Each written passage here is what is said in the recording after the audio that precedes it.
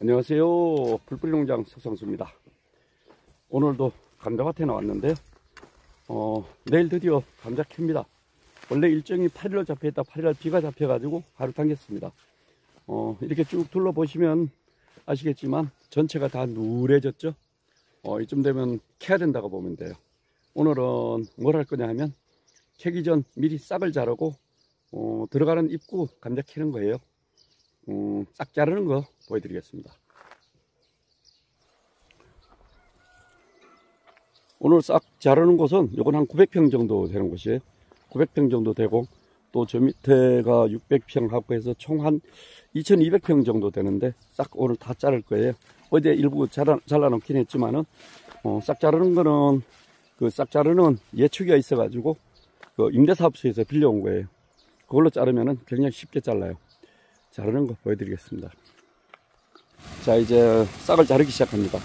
싹 자르는 기계는 임대사업소에서 그 계산군 농업기술센터 임대사업소에서 빌려줘요.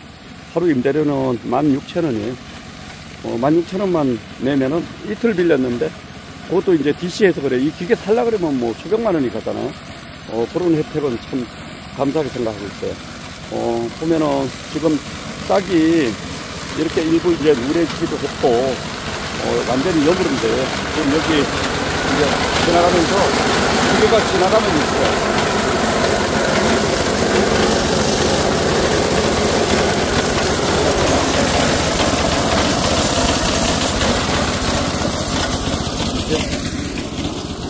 싹이 아주 파쇄가 된 거죠, 파쇄. 파쇄가 되고 이게 만약에 깊게 깊게 해가지고 비닐까지 심하게 찢어지면 감자가 상해요. 위에 있는 감자가. 이렇게 가다가 보면 그래서 너무 너무 깊게 이거를 자르게 되면 안 되고 높이 조절이 잘 되기 때문에 이 기계는 어, 굉장히 좋아요. 이런데 이제 비닐 찢어진 데 이런 데 있잖아요. 그럼 이런 데 여기, 약간 위로 오른 데가 있기 때문에 감자가 요런 데 요, 요 이렇게 감자가 튀어나오잖아요. 이거는 덮어놨다가 해야 되고 하면서 이제 다시 한번 돌아봐야 돼요. 이게 이 상태에서 감자가 노출되면 파란 감자가 되거든요. 파란 감자가 되는 거는 시간이 오래 걸리지가 않아요. 이런데도 비닐 찢어진다 이렇게 보면 지금 감자가 이렇게 나와 있잖아요. 이거 이 부분 금방 파래지거든요. 이거는 이렇게 이렇게 해가지고 여기도 있죠. 여기도 여기도 여기도 이렇게 있어서 다니면서 한 바퀴 돌아야 돼요. 한 바퀴 돌아가지고 이거는 꼭 체크를 해야 돼요. 싹 자르고 나서도 음, 싹 자르는 거 다시 한번 보면은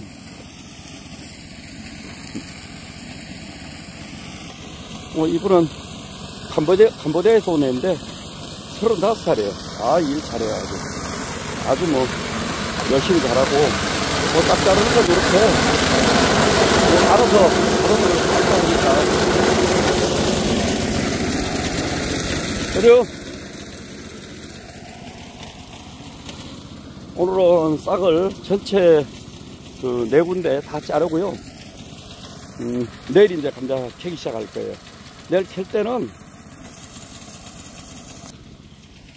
트랙타로 캐기 때문에 이 입구 쪽을 한 5m 정도씩은 이렇게 트랙타 돌릴 수 있게 이렇게 해줘야 돼요. 해가지고 이렇게 지금 입구 쪽에 캔 감자거든요. 입구 쪽에 캔 감자인데